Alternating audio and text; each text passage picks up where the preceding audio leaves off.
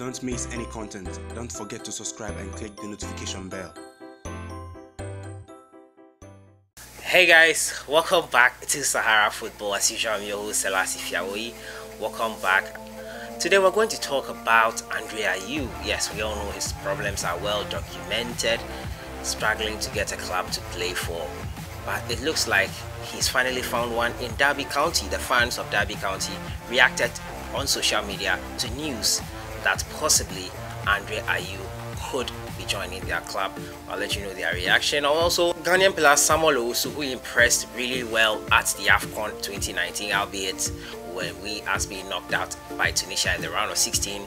It looks like Dortmund wants to swoop his move to Marseille. Yeah, that's the latest there. I'll give you more details on that. And Ghana Football Association, the normalization committee, has set the date for elections to elect a new Ghana football president.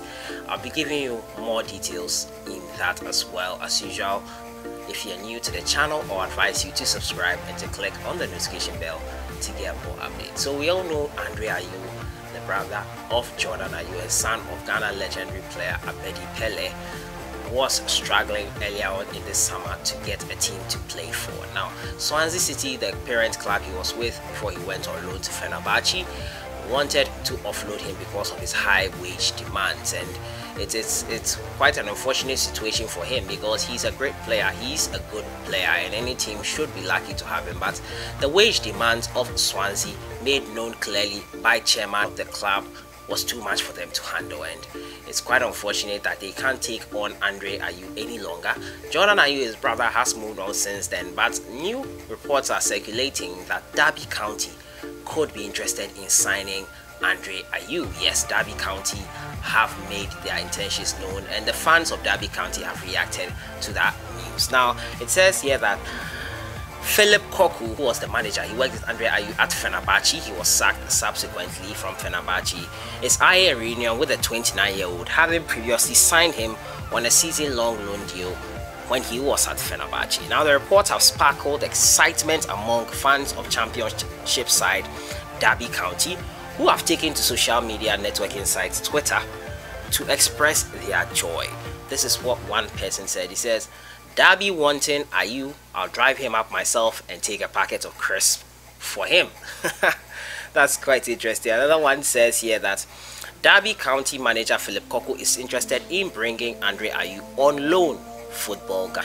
I've already arranged to have his bags packed another person responded so it's obvious from these tweets that most of the Derby fans are excited about Andre Ayew's arrival at their club he said I'll like I'll be happy with Ayew joining Derby on loan conditions will state not allowed to play against parent club.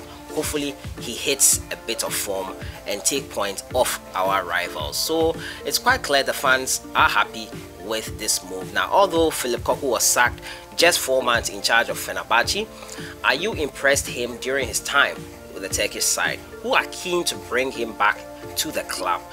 It now seems however that the canaries could face competition from their former manager who is thought to have told his new employers to look to sign the player before the close of the summer transfer window on Thursday and that is that with the Ayew issue. The transfer window closes tomorrow. We all know the agreement that was signed by the Premier League clubs that was last year that the transfer window would be closed before the season starts so that there will be no further interruptions in their business as the season started. It was something they agreed upon and it's taking effect now and Andre Ayew, if he's going to join Derby County or any English Premier League side or any English side, has to make that move now. That move has to be made now, and its clock is ticking.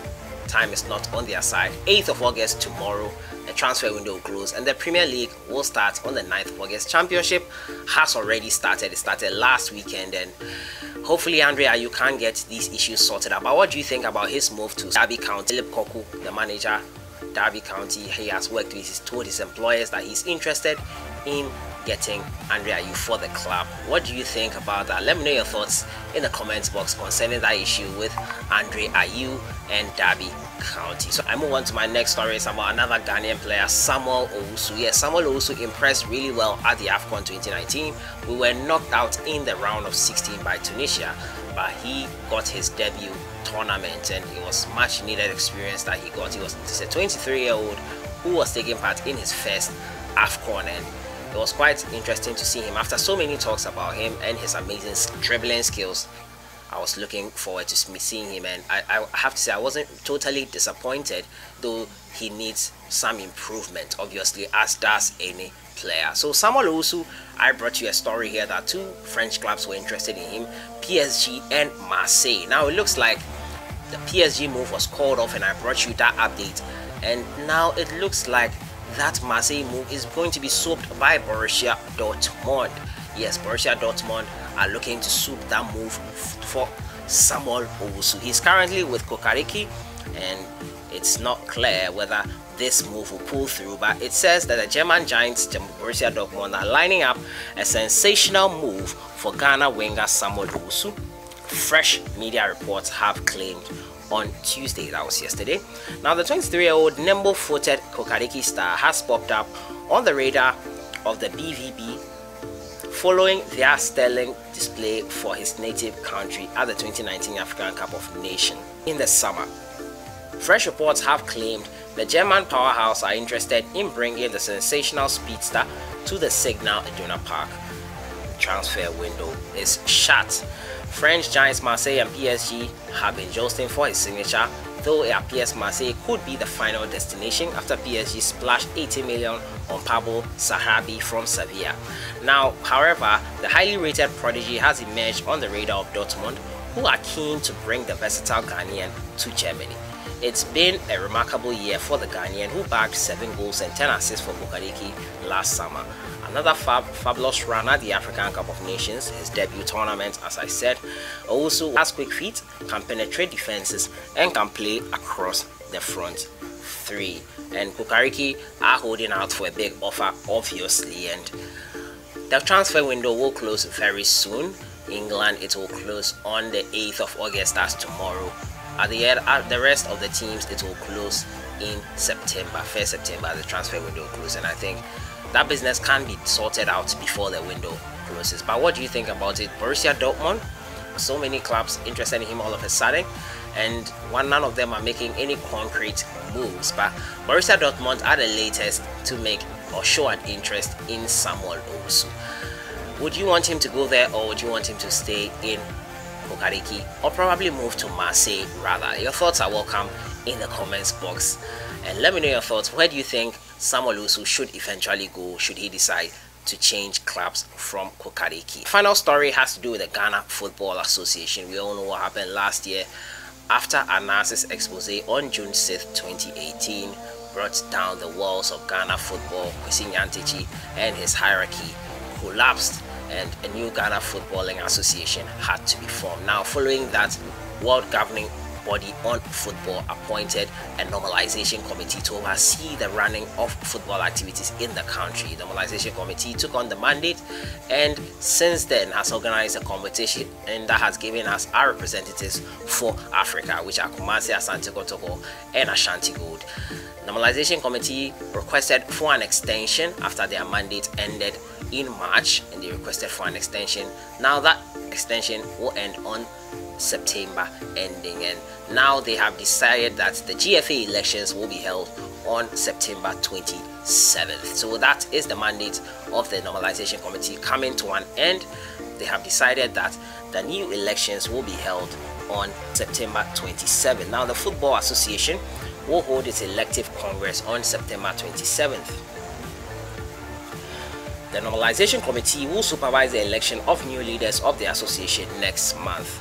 An election of a new president and its executive committee members will draw the curtain on the activities of the Normalization Committee, who have been in the helm of affairs for 12 months amid several controversies.